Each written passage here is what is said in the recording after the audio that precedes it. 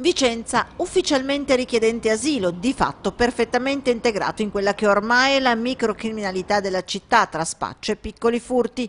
Un immigrato ghanese, 23enne, è stato pizzicato dagli agenti delle volanti al parco Fornaci in città mentre dissotterrava della sostanza stupefacente. Vistosi scoperto, l'immigrato si è dato alla fuga. Una volta raggiunto dagli agenti gli hanno trovato 28 grammi di marijuana e un cellulare sottratto due giorni prima ad una chioggia a Vicenza con il banco del pesce. Il Milanese è stato denunciato per resistenza pubblico ufficiale e ricettazione.